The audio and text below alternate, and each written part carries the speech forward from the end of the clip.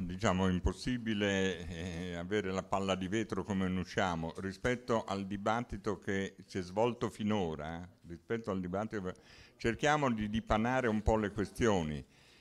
La questione di fondo è questa diciamo, invasione da parte della politica eh, su ATAC. Non è chiaro neanche questo punto, perché eh, a un certo momento sembrava che la forza di ATAC, no, la sua capacità eh, turbativa, avesse a sua volta inquinato, inquinato la politica. Comunque, diciamo così, è abbastanza difficile immaginare che le gare, di qualsiasi forma siano, liberalizzanti o privatizzanti, abbiano poi questa virtù salvifica no? nei confronti dell'amministrazione comunale che la risanano, nei confronti di ATA che diventa una società di ingegneria altamente, altamente eh, qualificata e addirittura del sindacato, no? eh,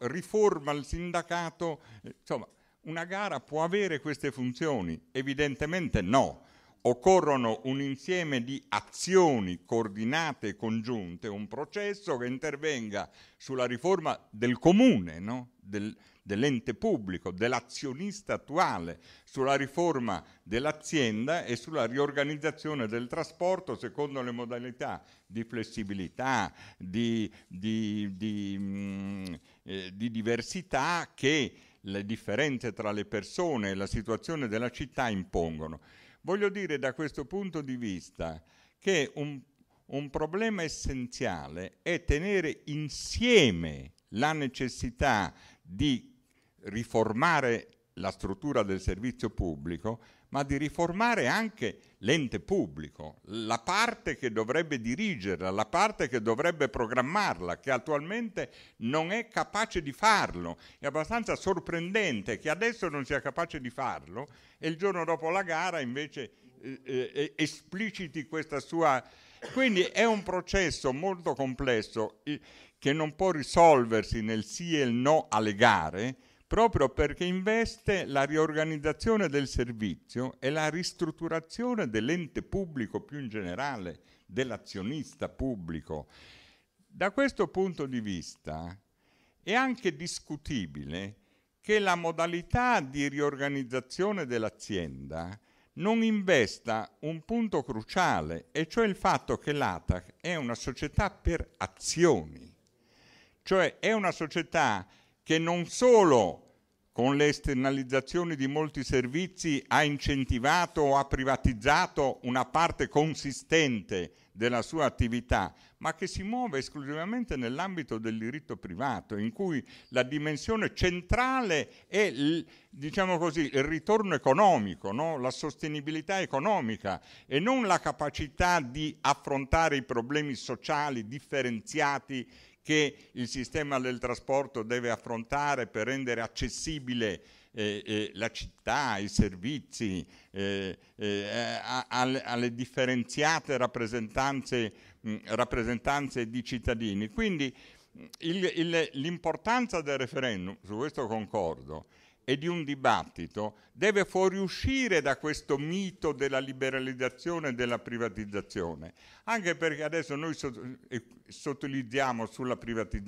sulla liberalizzazione solo del, del servizio, cioè dei, delle persone, della manutenzione, ma è finanziata dal pubblico, no? È finanziata dal pubblico, svolge un servizio pubblico, il rischio di impresa è molto relativo perché il rischio di impresa non c'è, diciamo, nel momento in cui,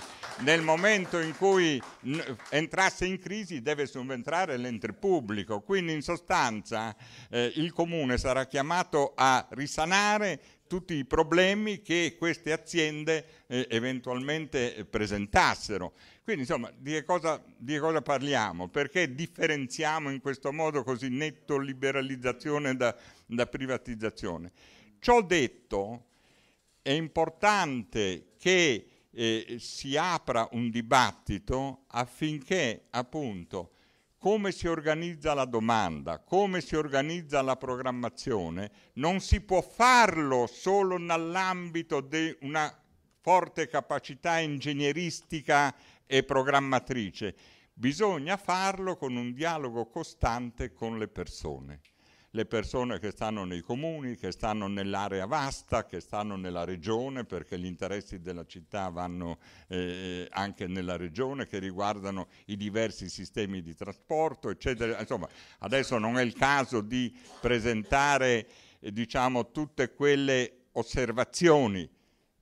rispetto al quale il Comune finora non ha mai dato risposta, che nei, nei, ne, negli ultimi anni, negli ultimi dieci anni, dalla società civile, dalle associazioni, dai lavoratori dell'ATAC, da, dai lavoratori e non dalla direzione dell'ATAC per intenderci, no? che è sempre stata silente eh, su questi problemi per non disturbare appunto coloro che li avevano che li avevano nominati, sono venute un insieme di osservazioni, no? di recupero del tram, di, di, di autonomia delle, delle, scelte, di flessibilità, di uso delle nuove tecnologie in sostanza, no? che devono essere governate nell'ambito di un processo sociale molto complesso. Allora, il nostro augurio è che si esca finalmente da questa diatriba no, liberalizzazione sì, privatizzazione sì, no, eccetera, e si affronti il tema centrale, come l'ATAC può tornare a essere un'impresa, diciamo, utile alla cittadinanza, come l'ATAC può tornare a essere un momento centrale nella riorganizzazione del servizio pubblico accanto al COTRA, alle ferrovie, chiedendo alla Regione che faccia finalmente un piano regionale dei trasporti e della logistica, no? perché la Regione non ha questa documentazione, non ha neanche lei questa programmazione e si esca appunto per, eh, in, in un dibattito che affronti i problemi